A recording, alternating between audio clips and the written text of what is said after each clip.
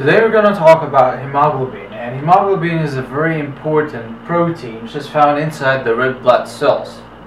This is what gives the red blood cells their red color and is very important for the process of binding the oxygen.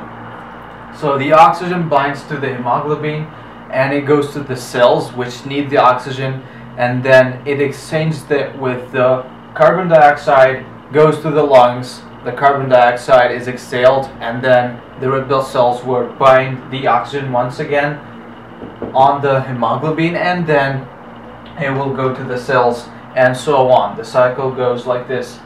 So hemoglobin is a very important protein inside our bodies.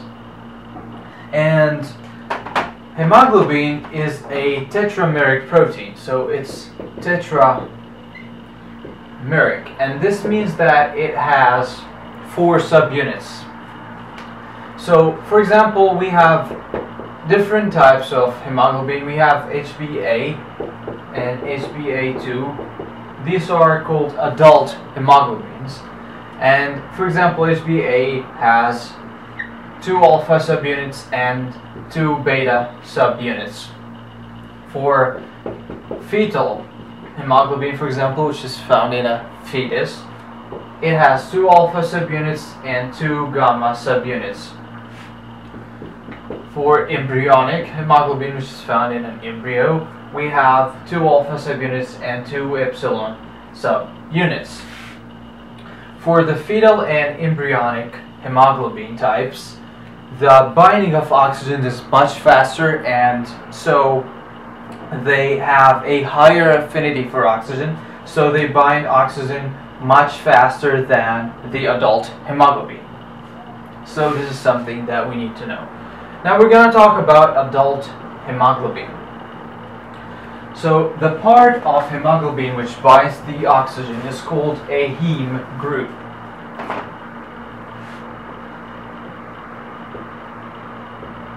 And this group contains an ion, a ferrous ion, which is uh, bound to the nitrogen atoms in a certain manner, like this.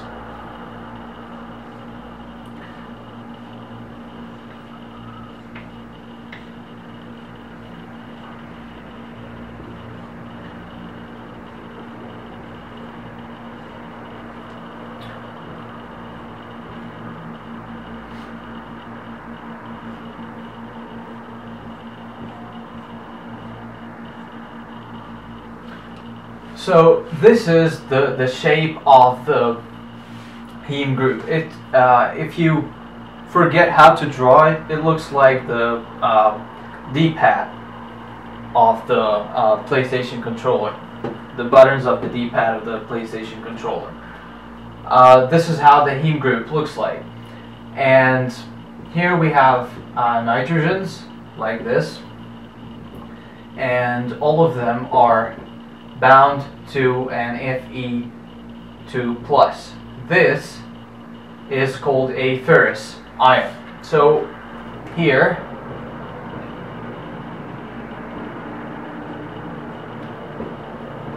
we have different attachments on the sides of these um, pentose rings. We have a methyl group here and here and here and here. And a methyl group is a, so M equals CH3. And here we have a vinyl group and a vinyl group there. So V is a CH double bond CH2. This is a vinyl group. And here and there we have a propionyl group. So P equals propionyl group. And this is a CH2, CH2, and then a COOH. So this is the structure of the heme group. So here bound to the iron, we have to know that the iron is found above the plane. So if this is the heme group, the iron will be above the plane, like that. This position is called a tension position.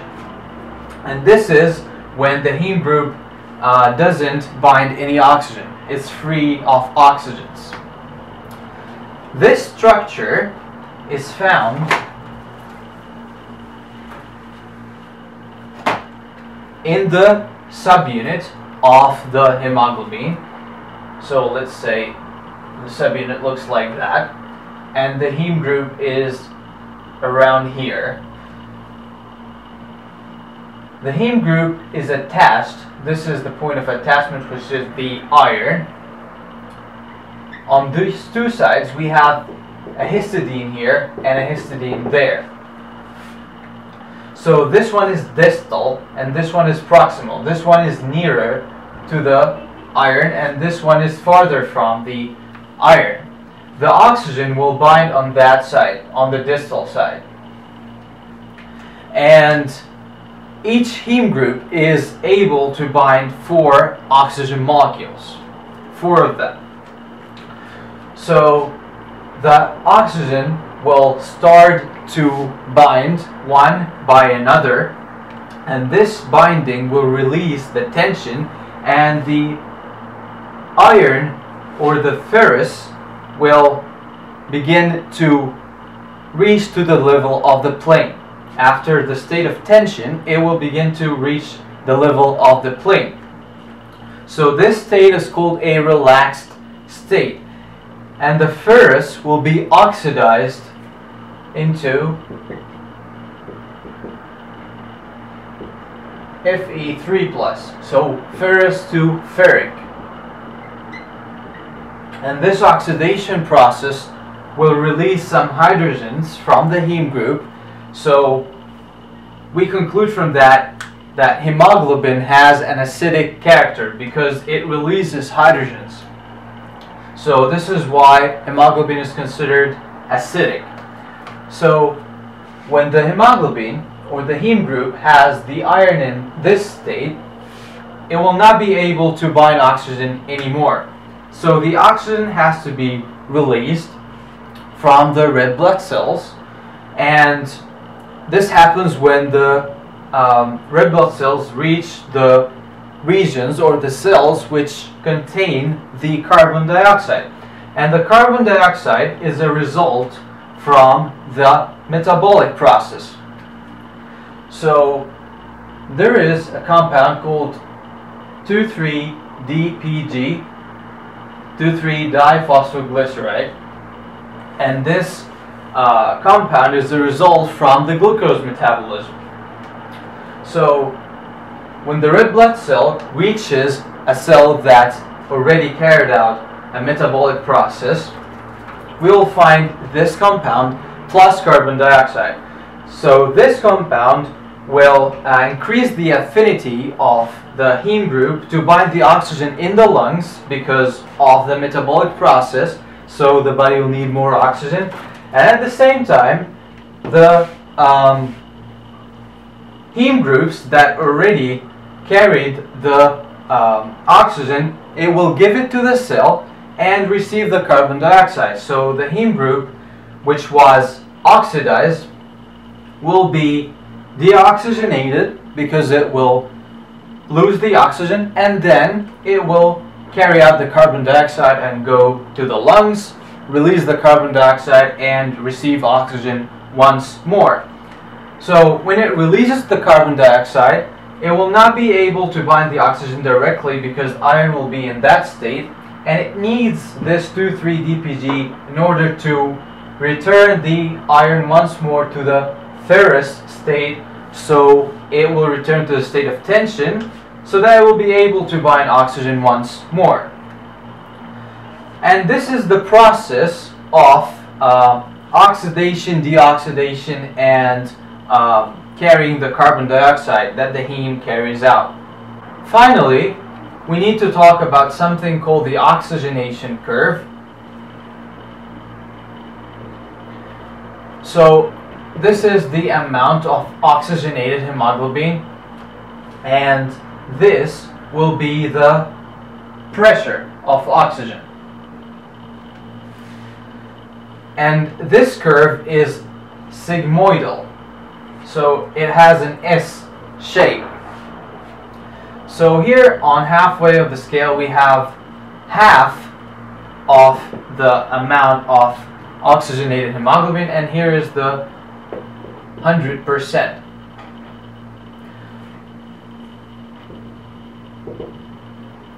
So the pressure of oxygen at that point equals 26 millimeter mercury. So we deduce from that if the pressure of oxygen in the blood is 26 millimeter mercury, this means that half of the hemoglobin should be oxygenated. So if this ratio is not as it is, like that, this means that there is a problem in the heme group function. So, for example, if the pressure is like this and the ratio of the hemoglobin, uh, which is oxygenated, is lower, this means that the binding affinity of hemoglobin is low. There's a problem in the uh, binding affinity. On the other hand, if the pressure is still the same, but the amount of oxygenated hemoglobin is higher, this means that hemoglobin has a very, very high affinity to oxygen regarding this low pressure and the high uh, ratio of oxygenated hemoglobin. But this is the normal ratio. So halfway is 26 millimeter mercury. This is the pressure of oxygen and this is the amount of oxygenated hemoglobin.